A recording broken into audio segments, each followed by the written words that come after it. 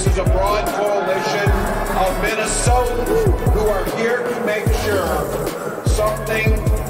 as simple as the dignity of being able to be home with a family member who's sick or take care of yourself in times that you need to